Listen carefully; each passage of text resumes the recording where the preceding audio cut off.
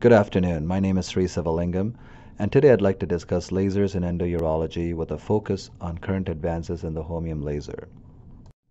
These are my disclosures, and I'd like to state that the opinions and slides in today's talk are my own. Here's our outline for today's talk. My focus will be on newer generation laser units with an emphasis on their advantages. We'll also talk about some cost considerations in acquiring these laser units. Laser stands for light amplification by stimulated emission of radiation. This was first described in 1917 by Albert Einstein, which actually served as the foundation of laser development. The first lasers were developed in 1960 with the early units using gas and liquid mediums, and later in the mid 60s the first solid state lasers as we know today were introduced. Initial reports of pulsed dye laser for stone fragmentation occurred in 1987. However, these units were faced with high initial costs, expensive disposables, and they were not as effective for cystine or calcium oxalate monohydrate stones, which are the denser stones as we know it. The holmium YAG laser was later introduced in the 1990s. These units were a pulsed laser with wavelengths of about 2000 nanometers and they prevailed due to their ability to fragment all stone types and also ablate soft tissue. How does this holmium YAG laser work? Well, there are two different mechanisms of action when you, uh, when you fragment urinary stones. The first is by way of a cavitation bubble, and this causes a shock wave, and this is sort of what uh, we see in our shockwave lithotripsy uh, comminution uh, mechanism as well. And the second one is a photothermal mechanism where the stone is actually vaporized.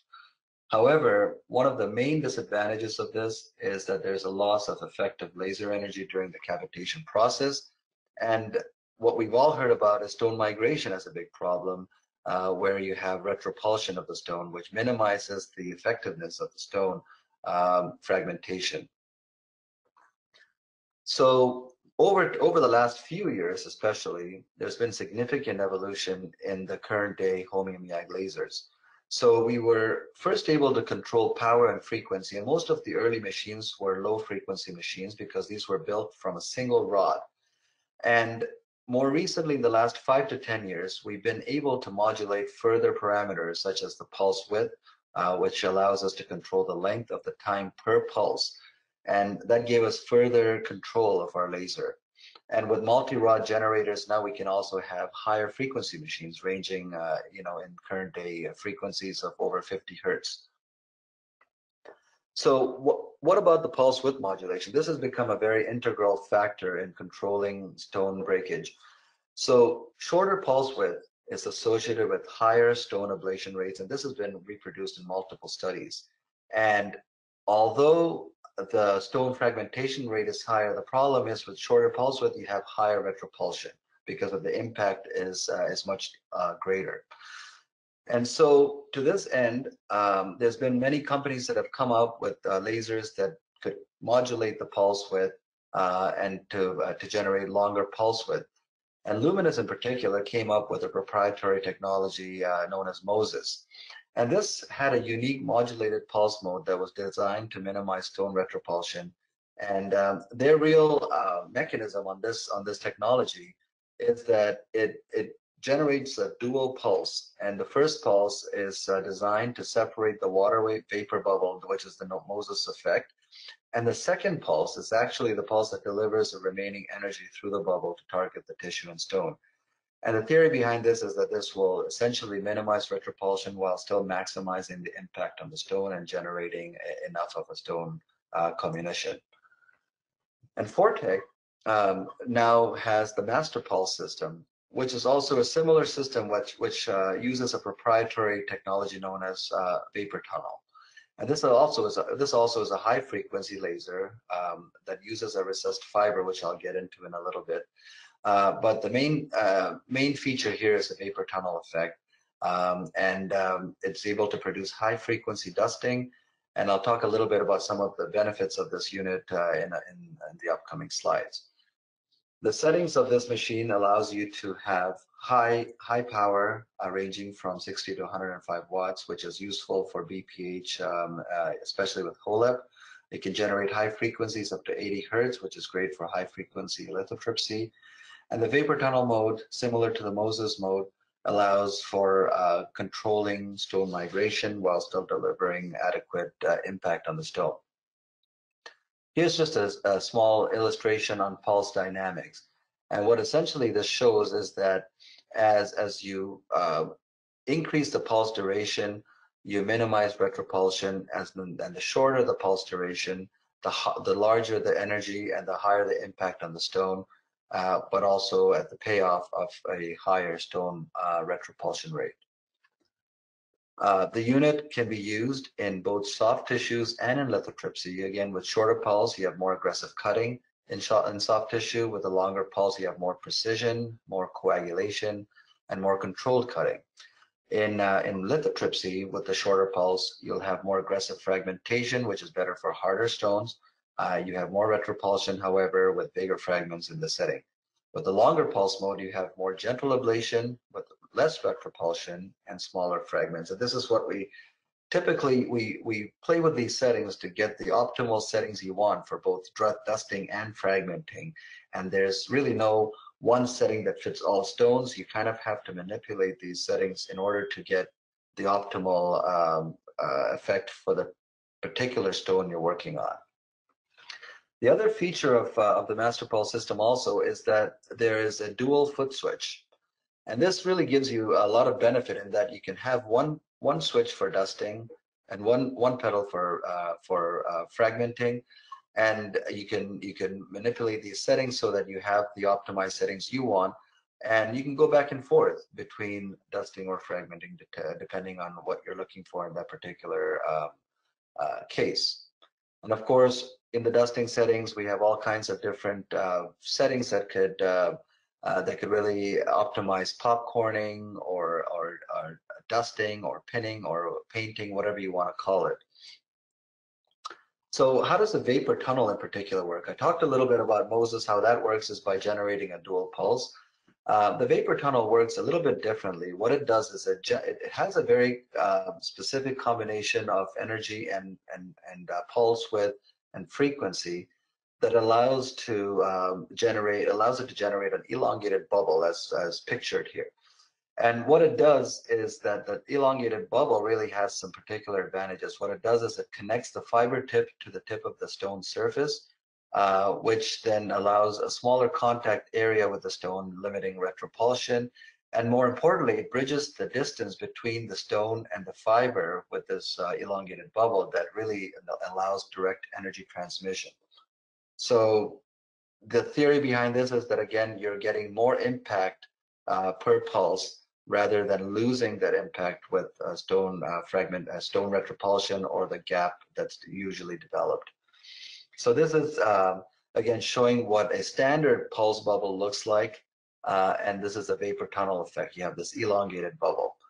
So really this is optimized for non-contact fragmentation to effectively allow the bubble to work. So you want to uh, kind of give a little bit of a gap uh, contrary to traditional uh, practice where we want to touch the stone. And this is very similar to the uh, quote unquote the distance mode that we see um, offered in the Moses technology. So to that end, uh, what um, they have developed is the Excalibur fiber. This is a recessed fiber tip, which is uh, really um, optimized to use with the vapor tunnel effect and what it does is that there's a, a bit of a, you can see that there's a recessed laser fiber tip here and there's a safety sheet. And so this generally, uh, uh basically the essence of this is that, that it creates the space for you, whereas, uh, whereby you can actually touch the stone, you can contact the stone, but the laser fiber in itself is recessed. So it, it allows enough of a space for that vapor tunnel effect to, uh, to really come into fruition. Some of the other advantages is that the fiber tip uh, won't damage the scope's working channel because there's no direct contact. And it also passes easily through a flexed scope multiple times, eliminating need, the need to back out the scope for fiber insertion. So, you know, you can really uh, pass this fiber without concerns of damaging your scope.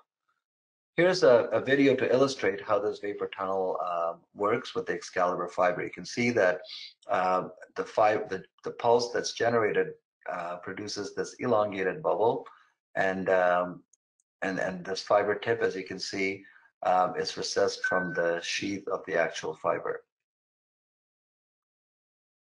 And then here's another video showing what a normal pulse and a vapor tunnel pulse will look like. So what this video is showing uh, is that A, you can see in the lower video here that there's significant retropulsion for each um, pulse. And what happens is that once the stone moves away, you're losing the effective shots because you're not really making any more contact. You're not causing any more fragmentation. Whereas with this vapor tunnel effect, you can see that the stone stays put and you don't have to move the laser and retarget it. And you're getting effective shots. Here you see nine out of nine shots are effective, whereas in the lower portion, only a fragment, only, only a fraction of those shots are effective. And this is again showing another video where in the lower, uh, in the lower uh, picture is the Excalibur fiber and the vapor tunnel, and, and the upper video shows just a normal fiber you can see that you just have to maintain contact on the stone and it basically does the job for you. The stone is not moving or the target is not moving, yet you have uh, fragmentation, whereas in the above video, uh, the video on the top, you have uh, significant retropulsion, which minimizes the effective uh, energy transmission. This is a video from IOR looking at a large uh, ureteral stone, and I'm using the Excalibur fiber here. And this is a stone that's not impacted. This is sitting right on the mid-ureter above the iliac um, vessels. And uh, you can see that that's what the, the, the pulsatile motion of the ureter is based on the, on the uh, pulsation of the iliac artery here. But you can see that we're fragmenting or uh, dusting the stone here. And the stone is really staying put. I mean, there's really not much retropulsion at all. The only movement you're seeing is that from the uh, arterial pulse. But um, the, the cat, I'm, we're, we're trying to touch the stone here, paint it, and you can see there's good effective fragmentation or dusting going on. And this is towards the end of the video on the right shows as we end, get near the end, the stone is still in place. And even the little uh, fragments that are generated remain uh, in position. Uh, we're not chasing the stone. We're just staying in position and nicely dusting the stone, uh, even once it's broken into smaller particles. So uh, you can see that this is quite effective in a clinical setting as well. So here we're just comparing, uh, showing some comparisons between the Quanta, um, or the, uh, this is the uh, Master Pulse and the Lumenis system. And most of the factors looking, when we look at most of the factor uh, factors, um, such as the modulated uh, pulse delivery, both of them have it. The, Mo the Moses is from Lumenis, while Quanta provides the master, master pulse. Um, both have dusting in the high frequency range. Most both have uh, pulse width variation. Although the master pulse does have seven different levels of pulse width control, uh, whereas the Lumenis has uh, three levels. They usually have a narrow, uh, intermediate, and wide. Uh, both have a green aiming beam, which is very uh, much more effective than a red beam because, especially you know when you have cases with bleeding, the green aiming aiming beam is really more helpful. Um, both have a dual foot switch and have the ability to do prostate surgery. And here's another feature that I like in both of these units is, is that you can save individual physician preferences or uh, for their parameters so that when you walk in the room, they put in your name and all your parameters are set. Uh, you know what the left foot pedal is going to do, you know what the right foot pedal is going to do. So that's really a, a, nice benefit, especially when you're sharing a unit with multiple uh, physicians. Now, a key advantage I think that the Quanta has um, is that it, it uses uh, a standard 30 amp power source, whereas with the uh, P120 from Lumenis, you do have to uh, upgrade to a 50 amp outlet. So some basic tips and tricks. I mean, this is not the, the scope of this talk, but I'll just kind of give you a, a, couple of tips here. So initial settings, when I start off, um, I usually start with a fragmenting setting of 0.8 to 1 joule in the long pulse mode, just because you have a little bit more stability and you can then tailor that as needed. And if you're planning on dusting, I typically start with 0.2 to 3 joules at 40 to 50 hertz in the long pulse mode again. Now, if you feel that the stone fragmentation is not effective enough, um, you can always start um, reducing the pulse mode uh, pulse width and seeing what that does, uh, but uh, then you have to be aware that you're going to see some more retropulsion. Um, depending on many factors, you know, you're going to have to adjust these settings, uh, stone hardness, location, um, eh, you know, several things. And one of the other things to consider, again, uh, I don't want to get into too much detail on this, is that you do have to consider heat generation. So when you have high frequency settings, you do generate heat, so you have to be aware of that. The uh, fiber uh, tip distance also is something to consider, whether you're using contact or distance mode. Um, and as I mentioned, the vapor tunnel is really optimized for a, a pseudo distance mode. So you want to maintain a little bit uh, you know, fractional distance from the stone. Uh, and this is where using a fiber like the Excalibur fiber really can be effective if, uh, if it's difficult to do so without it. So I want to talk about a couple of uh, clinical studies that have been done. Now, uh, unfortunately, we don't have any currently available clinical studies on the uh, master pulse laser in specific, but we can sort of extrapolate what we have from the MOSES technology. Um, here's a study that looked at the initial clinical experience. Now, I've talked to you about all of the things that um, you know have been demonstrated uh, from a bench and lab setting, and also I demonstrated to you what we see in the in the uh, clinical setting with the case I showed. But here's what um, this study did is uh, by looking at uh, both subjective and objective uh, measures uh, of the things that are theorized. So in this study, they looked at subjective ranking by three urologists and uh, what they found was when they compared a MOSES to a standard laser uh, with similar frequency and energy settings, the fragmentation rate was better, the retropulsion rate was better, and the fiber flexibility and durability was better. However, in the same study, when they looked at this objectively and, uh, and blinded it uh, to the actual surgeons, they they didn't really see any significant difference in the stone volume that was uh, broken uh, broken up, the energy used, the laser working time, or the fragmentation rate um, um, per working time. So you know, it's again important to consider what we see in our uh, with our own subjective experience versus what's objective. However, here's a double-blind prospective study that was just recently published a couple of months ago and, uh, and this study looked at uh, 72 patients with 36 patients per arm that were randomized into both uh, into either the MOSES or standard mode. What they saw here was that there was a lower fragmentation and pulverization time with the MOSES technology, lower procedural time, and let, less retropulsion. So here they do see some significant benefits when we looked at it from a double-blind randomized controlled trial. However, the question I want to pose is, does decreased fragmentation time really uh, lead to decreased overall operating expenses? So what we have to consider is the potential versus actual uh, savings and distinguish between um, operative case time versus strict fragmentation time. Um, and what I'm trying to say is that, you know, um, the time we're actually lasering is just a, a, a, small fraction of the actual entire operative time the patient from when they come in to when they leave the room. And what we uh, found in one of the studies that was uh, that we did at the Cleveland Clinic was that despite shorter operative times, um, there was no improved cost effectiveness due to the higher cost of fibers and capital investment.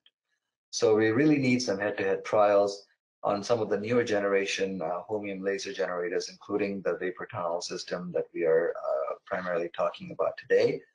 But, you know, this is a good segue to discuss cost considerations because as I mentioned, some of the benefits of these uh, of these machines are lost in the capital investment. And so capital investment really is a is a major uh, uh, uh, I guess um, hurdle to getting some of the newer units just because uh, it's, it's a substantial cost. And then you have to consider fiber costs, um, potential laser tech fees. Uh, you know, we have to have a technician in the room, so you know you have to consider the costs of laser techs, and then of course repair and maintenance expenses. So these are things that uh, you know go hand in hand with owning a laser unit. And and to that end, you know, I, I would like to. I'd be remiss if I don't mention uh, that there are um, concierge services, as I call it, for example, what ForTec offers, and this may be a solution to uh, try to uh, still have the latest and greatest units while um, offsetting some of these other costs that I mentioned. So, uh, you know, uh, with with the concierge service, um, uh, or a rental service, um, you know, you you get the latest units and you don't have to worry about any of these other costs that I mentioned. You have a set fee that you negotiate, and so uh, that would that would cover all of the above things um, listed in this uh, on the slide. So what I would urge is, um, you know, to really consider cost analysis with your supply chain department, and it varies obviously from an institution to institution basis, and see what really works out. Is it, you know, is it better to spend the upfront cost, or is it better to actually use a service that would bring in the machine and service it for you? So just to wrap up some key points to remember from this talk is that new technologies in laser produce optimized pulse modulation with unique features such as MOSES and uh, vapor tunnel. And the purpose of these are to a, is to minimize retropulsion, um, vastly improving our treatment efficacy. High frequency dusting has rapidly become a preferred treatment method for stone and disintegration, and this is sort of the, uh, the uh, key uh, talks in many of the uh, endourology uh, meetings um, in terms of how do we optimize dusting. Uh, Excalibur, the recessed fiber that I talked about, improves fiber and treatment performance in combination in combination with the vapor tunnel, and really reduces scope channel damage because of that soft coating. And um, a laser concierge service may provide new opportunities in terms of um, uh, stone management. So thank you very much uh, for your attention. Um, and with that, I'd just like to once again acknowledge uh, ForTec for facilitating this webinar.